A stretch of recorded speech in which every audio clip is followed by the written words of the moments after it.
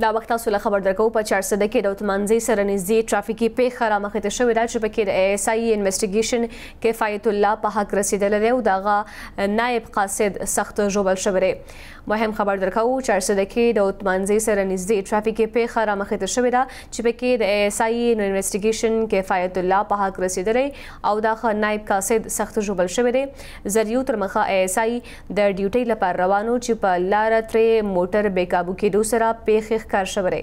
د پېښې نه پس نایب قاصد ژوبل حالت کې هسپتال ته منتقل کړی شوی.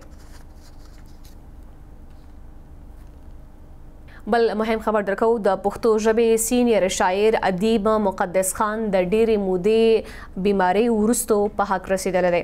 هغه د پښتو ادب لپاره یو شمېر خدمات ترسره کړي.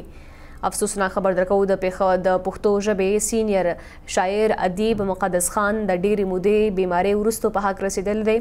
هغه د پښتو ادب لپاره یو شمېر خدمات ترسره کړي. خدای بښلي له څه مودې راسې په کویټه کې اوسېدلو او د پښتو ادب لپاره یې خدمات ترسره کول.